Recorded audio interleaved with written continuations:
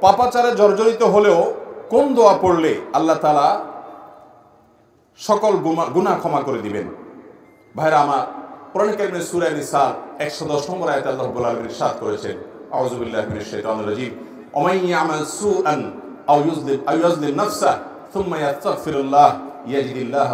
রহিমা। যে ব্যক্তি খারাপ কোনো কাজ করবে ওমান অপরাধ করবে, খারাপ কাজ করবে হারাম কোনো কাজে লিপ্ত হবে।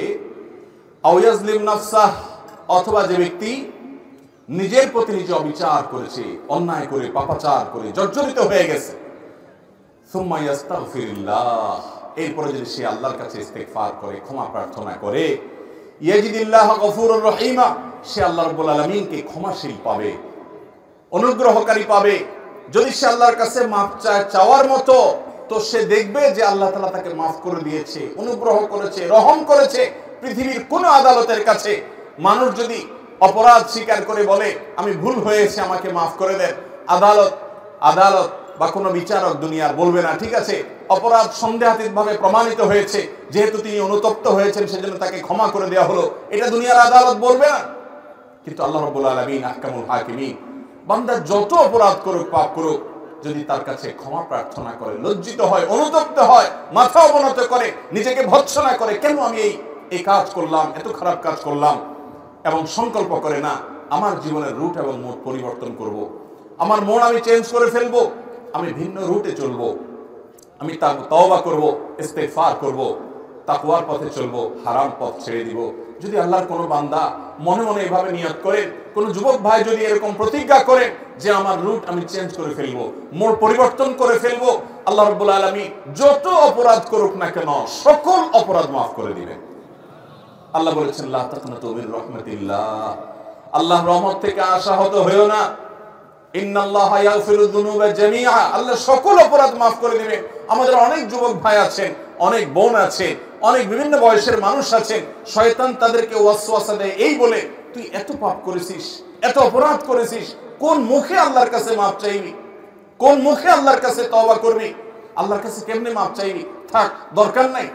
এই মুখ নিয়ে আল্লাহর কাছে মাপ চাওয়ার মতো অবস্থা নাই। এই কথা যদি আপনার মনে কখনো জাগ্রত হয়, উদ্রেক হয়, তাহলে আপনি নিশ্চিত হয়ে যাবেন আপনার আশপাশে ইবলিস ভরে গেছে এবং আপনার উপরে ভর করেছে, আপনার ধ্বংসের চূড়ান্ত পথে আপনাকে নেওয়ার জন্য সে চেষ্টা করছে। নিরাশ হওয়া, এটা মুসলমানকে সাজে না। আপনার পাপ যত বেশি হোক না কেন, আল্লাহর রহমতের পাওয়ার তার চাইতে অনেক বেশি। এই জন্য দরকার হলো ইস্তেগফার তবায় নাসুহা। আল্লাহ আমাদেরকে তবায় নাসুহা করার তৌফিক দান করুন। তবায় নাসুহা করলে আল্লাহ তারা সমস্ত পাপ মাফ করে দিবেন। সেটার জন্য প্রয়োজন হলো মন থেকে নিজের প্রতি নিজে ভৎসনা করা যে আমি কেন করলাম? লজ্জিত হওয়া, অনুতপ্ত হওয়া। আল্লাহর কাছে কায় মনোবাক্যে মাপ চাওয়া, চোখের পানি দিয়ে, মালিক, জাহান্নামের আগুন সহ্য করার মতো ক্ষমতা নাই। এবার পাপের প্রায়শ্চিত্ত শুধু আখেরাতেই হবে তা নয়, দুনিয়াতেও এর প্রায়শ্চিত্ত আমার করতে হতে পারে। আল্লাহ, আপনি আমাকে মাফ করে দেন, আমি আর কখনো করব না। দুনিয়ার আদালত মাফ না করলেও আল্লাহ রব্বুল আলামিন ওয়াদা করেছেন, ইয়াজিদিল্লাহ গফুরুর রহিমা। নিজের প্রতি নিজে অবিচার করার পর, খারাপ কাজ করার পর তবা করে মাপ চাইলে আল্লাহ তালা মাফ করে দিবেন এবং অনুগ্রহ করবেন ঈশা বাইরে আমার আল্লাহর কাছে মাপ চাওয়ার জন্য মনের এই অবস্থা হতে হবে, এটা হলো মূল বিষয়। এর পাশাপাশি ইস্তেগফারের দোয়াও নবী করিম সাল্লাম শিক্ষা দিয়েছেন। ইস্তেগফারের জন্য সবচেয়ে শ্রেষ্ঠ দোয়া হলো সৈয়দুল ইস্তেগফার। সাইয়্যিদুল ইস্তেগফার হলো আল্লাহর কাছে ক্ষমা প্রার্থনার যত দোয়া আছে ভিতরে সবচেয়ে সেরা এবং শ্রেষ্ঠ দোয়া। শিখতে চান? আমরা অনেকে জানি, আলহামদুলিল্লাহ, প্রত্যেক ইমানদারের এই দোয়া মুখস্থ করা উচিত।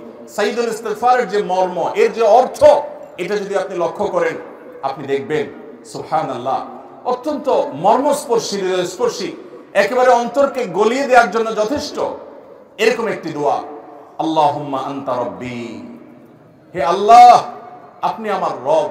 আপনার সাথে আমার সম্পর্ক হলো, আমি আপনার গোলাম, আর আপনি আমার পালন করতে আপনি আমার রব। আমি এটা স্বীকারোক্তি করছি। আন্ত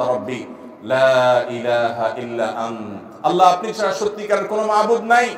ইবাদত আর দাসত্ব গোলামি করার উপযুক্ত একমাত্র আপনি আর কেউ নাই। এই তাওহীদের সাক্ষ্য আমি দিচ্ছি।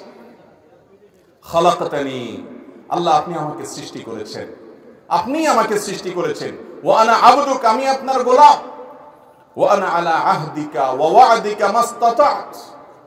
আল্লাহ, আমি আপনার সঙ্গে কৃত যে ওয়াদা আছে, আমি যে সৎপথে চলার প্রতিজ্ঞা করেছি, আমি যে ইমান এনেছি, আমি যে স্বীকারোক্তি দিয়েছি যে আপনি আমার রব, এই ওয়াদার উপর, আপনার সঙ্গে করা অঙ্গীকারের উপরে যতটুকু সম্ভব আমি থাকার চেষ্টা করেছি, তবে তবে এটা ঠিক যে আমি যতই চেষ্টা করি না কেন, যতই আমি প্রচেষ্টা চালাই না কেন?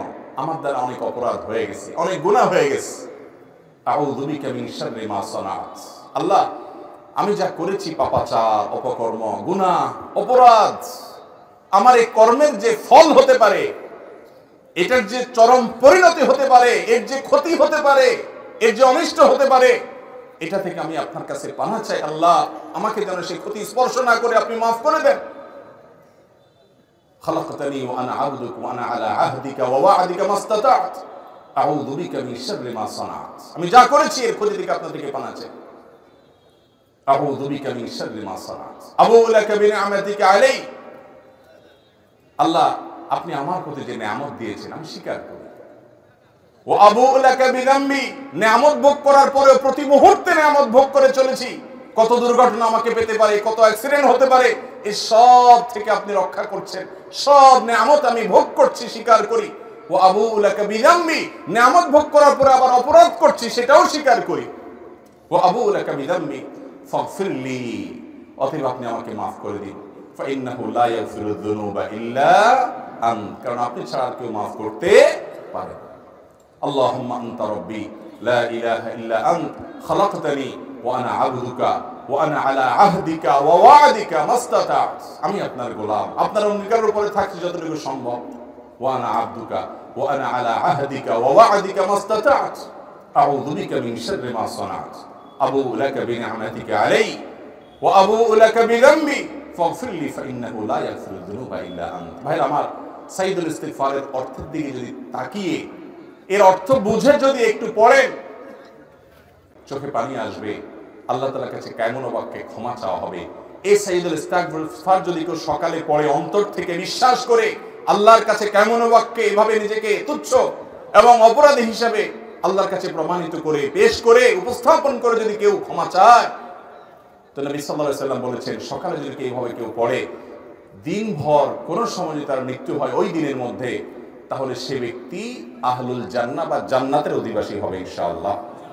আর যদি সন্ধ্যায় কেউ এইভাবে এরকম বিশ্বাসের সাথে বুঝে শুনে অর্থ সহকারে পড়ে, আর ওই রাতের ভিতরে কারও মৃত্যু হয়, তাহলেও সে জান্নাতের অধিবাসী হবে ইনশা এই জন্য সকাল সন্ধ্যায় সাইদুল ইস্তেফার পড়া ছাড়বো না।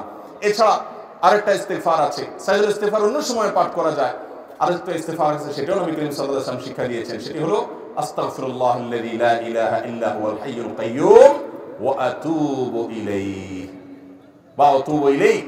যার অর্থ হলো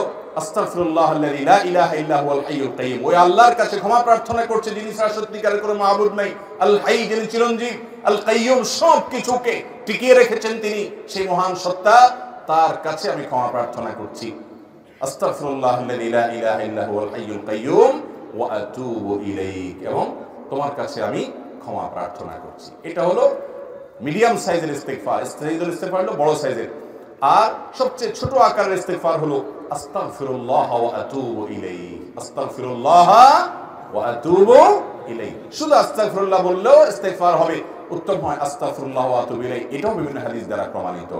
আমরা এই নিয়মিত যে সবচেয়ে বেশি করতেন, এর মধ্যে ইস্তেগফার। তিনি বলেছেন, আল্লাহর শপথ, আমি প্রতিদিন 70 বার 70 বারের বেশি ইস্তেগফার করি। নবী সাল্লাম তাকে আল্লাহ তাআলা গুনাহ থেকে, পাপ থেকে আল্লাহ মুক্ত রেখেছেন। তিনি যদি 70 বারের বেশি ইস্তেকফার করেন, তাহলে আমাদের কি পরিমাণে ইস্তেকফার করা উচিত? এই জন্য চলতে ফিরতে, উঠতে বসতে ইস্তেকফার করব তো ইনশাআল্লাহ। যারা পাপাচারে জর্জরিত সাইজুল ইস্তেকফারটা বেশি পড়বেন। দুই রাকাত সালাত আদায় করে আল্লাহর কাছে ক্ষমা চাইবেন। আল্লাহ তাআলা সমস্ত গুনাহ মাফ করবেন ইনশাআল্লাহ।